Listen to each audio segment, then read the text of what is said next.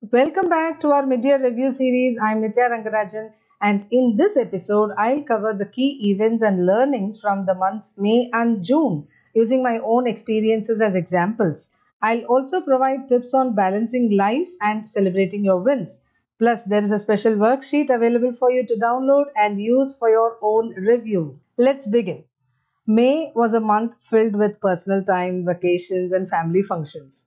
Taking a break to recharge and spend quality time with loved ones was essential for my overall well being. Balancing work and family time can be challenging, but it's crucial to prioritize both.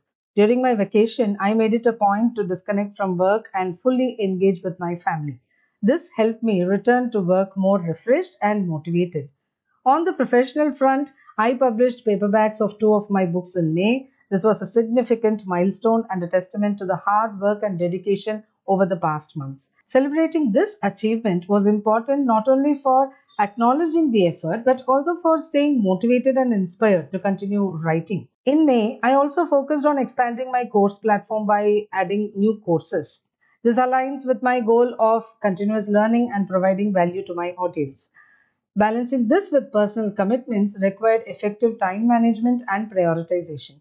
I set specific times for course development and ensured I stuck to them. Reflecting on June, June brought new experiences, including having my own bookstall at a literature festival, thanks to my mentor Shweta Samoka. Selling books directly to readers and interacting with them was a unique and rewarding experience. This event not only helped in expanding my network but also in receiving direct feedback from readers, which was invaluable. In June, I simultaneously worked on fifth and sixth books of mine. Juggling multiple writing projects was challenging, but it was also a period of immense creativity and productivity for me. Setting realistic goals and deadlines for each project helped in managing the workload effectively. Reflecting on how far I've come since the start of the year was crucial. It reinforced my belief in the power of consistent effort and dedication. This reflection also helped in identifying areas of improvement and setting new goals for the future. Now, let me tell you some practical tips for balancing life and celebrating achievements. Let's see balancing personal and professional life. First is please delegate tasks. Don't hesitate to delegate tasks. Delegating allows you to focus on high priority tasks and ensures that everything gets done efficiently. For example, my son and his friends helped me in preparing bookmarks and banners for my bookstall, and that helped me focus on the core activities. Now, second one is to create a routine. Establish a routine that includes time for both work and personal activities. A well structured routine helps in maintaining a balance for you.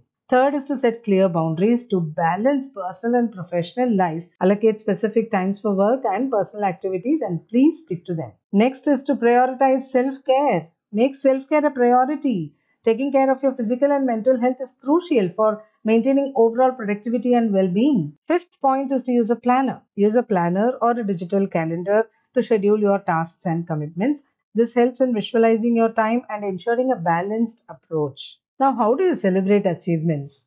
You have to reward yourself. Set rewards for achieving your goals. This could be something simple like a day off or something grander like a weekend getaway. So, I went on a one day tour with my son to celebrate our achievements. Second is to keep a journal. Maintain a journal of your achievements.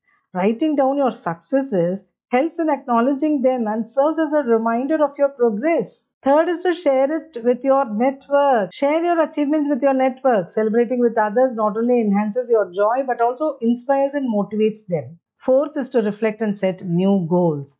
Reflect on your achievements and set new goals. This continuous cycle of setting, achieving, and reflecting keeps you moving forward. Wrapping up now, in the next episode, I'll reflect on the entire first half of the year, summarizing the key takeaways and setting the stage for the rest of the year. Stay tuned.